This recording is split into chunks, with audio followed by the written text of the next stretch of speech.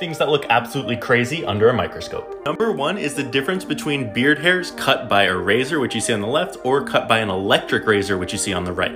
Number two is the skin of a sea cucumber. You see a lot of anchors and hooks, and I think it's really funny that this is actually real since it lives in the ocean. Number three is alcohol. Now there's actually a company that takes your favorite beverage, they crystallize it, and then they look at it under a microscope, and this was one example of that, and they have a ton of others. Number four is sand. You can see each individual little particle, whether it's rocks, minerals, or different smaller organisms.